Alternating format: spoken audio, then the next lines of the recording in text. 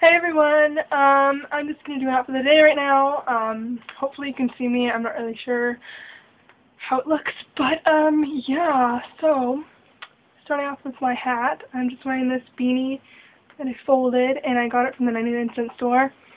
And I really like it. It's perfect for when my hair is really dirty and you never know. It just looks like it's clean, sort of.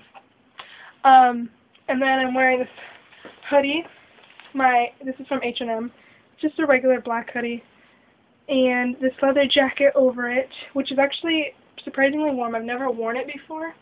Um, it was actually my friend's, and she gave it to me. And I actually did not like this jacket at all, but when I roll up the sleeves and I put a hoodie over it, it kind of makes it look cute, so I'm kind of liking it. Um, so you have that. And my shirt is just my Forever 21 one that I always wear, that t-shirt that has like the scoop back. And skirt is from Walmart, actually. It was from the Miley Cyrus collection.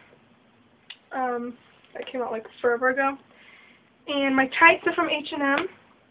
And my knee-high or thigh-high socks are from Kohl's. And my boots are from Kohl's also.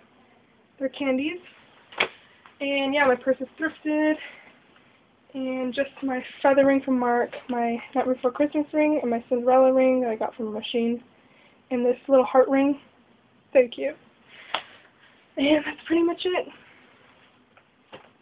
Here's my outfit. Alright, thank you guys for watching. Subscribe and comment if you want, and like. And I'll see you later. Bye.